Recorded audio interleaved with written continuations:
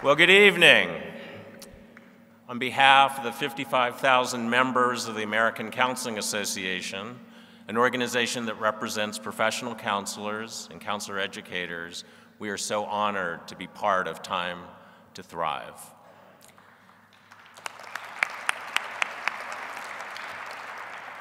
More importantly, we are so pleased to see so many of you at this event because in a lot of ways, what we hope is that all of you will be giving voice to those who don't have one, or to be giving guidance and strength to people who aren't sure they should share their voice. So that's what professional counselors do. They work with millions of children, adolescents, young adults each and every day. So when HRC asked us if we would be interested in being a co-presenting partner, we jumped at that opportunity because it fits so well with our mission and what we do. It was really our leadership who was so insistent that we engage in projects like this. And one of the people who was probably the most vociferous about it is with us tonight. And so I'm going to ask that Dr. Cirecie West Olatunji, our president, stand up to be recognized so that we can thank her for her commitment and her dedication. Cirecie.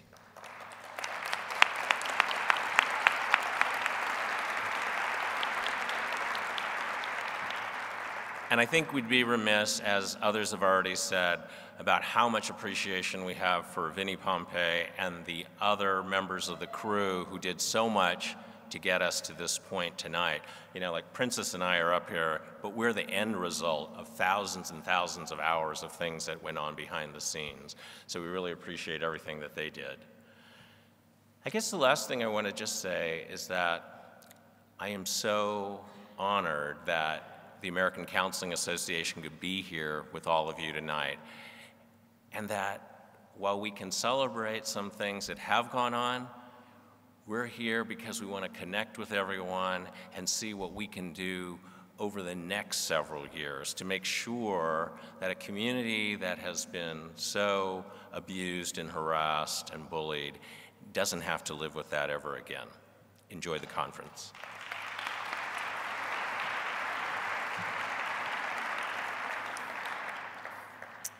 Hello and good evening. On behalf of the National Education Association, I bring you warm greetings. We are indeed excited and honored to serve as a conference co-presenter for this inaugural event.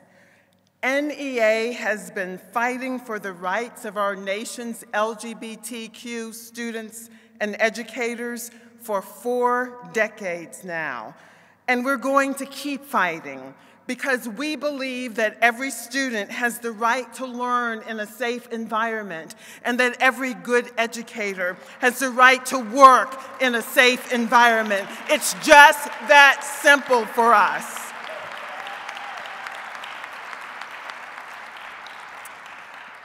Twenty-six years ago, one of my college classmates told me one day that he had something to tell me. His name was Chris Barnett. I thought to myself, what could Chris possibly want to tell me? We see each other every day. He shared something that I will never forget. It was two words that I never thought that I would hear Chris say. He said to me, Princess, I'm gay. Well, I said, oh, thank goodness. I, I thought you were going to tell me my hair was a mess or something. You know, I was a college, I was a college student. I couldn't afford good hair back then. Anyway, not that I count on a teacher's salary, but anyway, you get my point. but you see, Chris made this statement to me during a much uglier time in America for gay people a time of extreme condemnation rather than love and affirmation. But what was most important to me in that particular moment was the fact that he trusted me enough to share.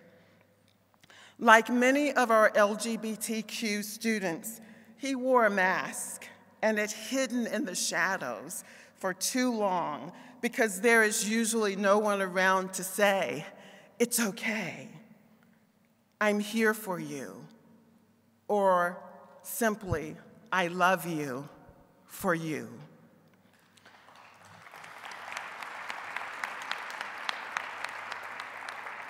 Many of our LGBTQ students remain marginalized and bruised because there are too many of us that choose to do what's popular instead of what is right. What is right is to fight.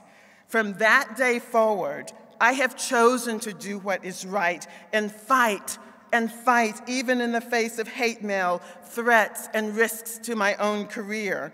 As a teacher, I stood for and with students and educators who are being bullied and attacked because of their LGBTQ status. During my first year as president of the Virginia Education Association, we took a stand against Virginia House Bill 751, which defined marriage as between a man and a woman. We lost that fight, but they heard us loud and clear. And I am proud to stand you, before you today to say that we have an attorney general and a federal judge who say that the ban on gay marriage is unconstitutional in the Commonwealth of Virginia.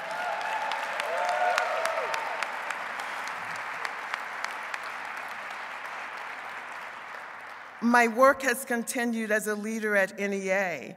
I helped work on NEA's new business item D called Justice for All, which started out, yes, some of you are very familiar with that, which started out as a, as a it was a controversial new business item, but be, it ultimately became our reaffirmation of our commitment to our proud legacy of promoting social justice and equality of education opportunity for every student and professional status for every teacher and education support professional, regardless of race, gender, or sexual orientation. I am proud of the work that we have accomplished at the NEA.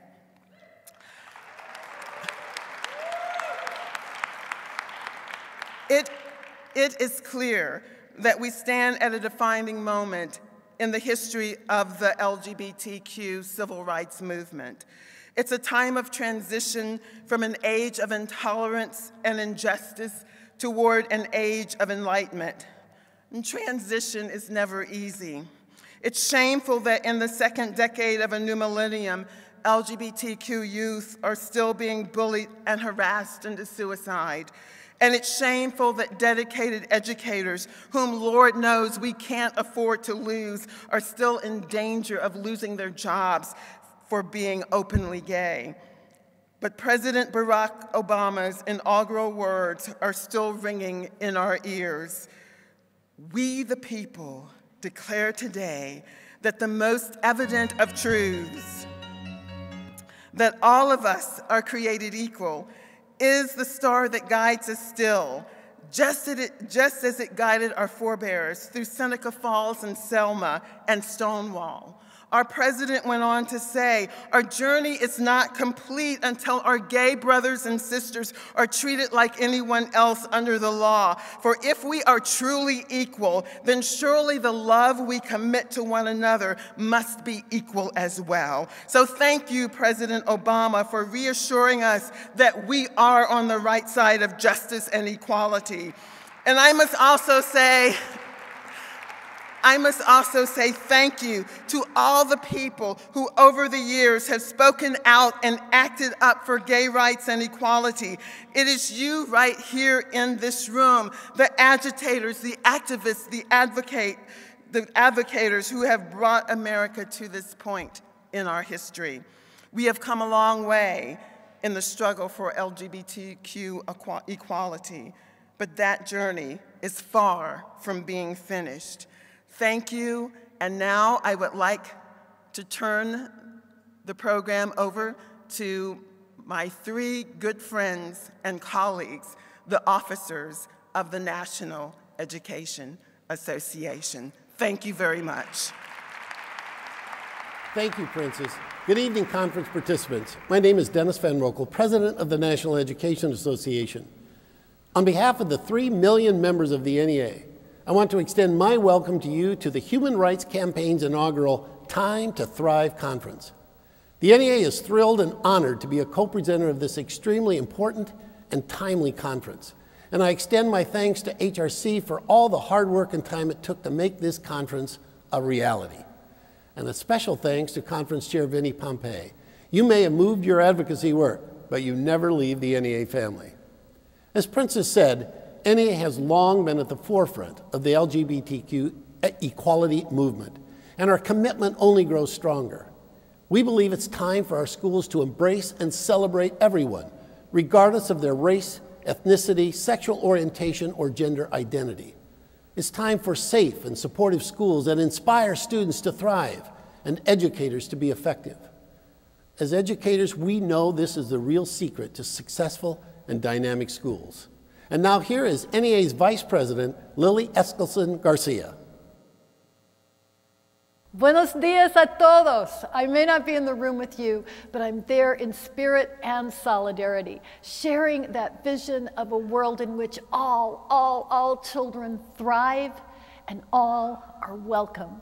And that's why we're so excited to partner with the HRC on the Welcoming Schools Initiative, an elementary school program that acknowledges the wonderful diversity and complexity of of our modern families and students, seriously. I mean, how many families these days look like June and Ward Cleaver or Claire and Cliff Huxtable? I want to talk about Bert and Ernie.